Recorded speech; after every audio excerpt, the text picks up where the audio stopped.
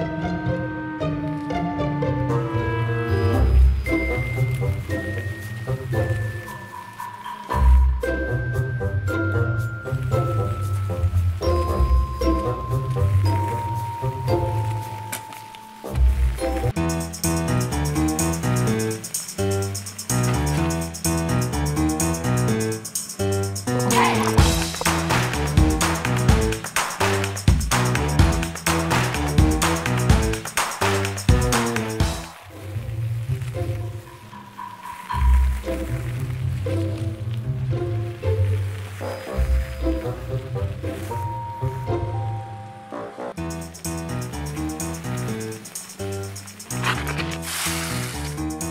There are a lot of pros that come from wearing gloves while mountain biking, such as saving your hands from being scratched when you fall,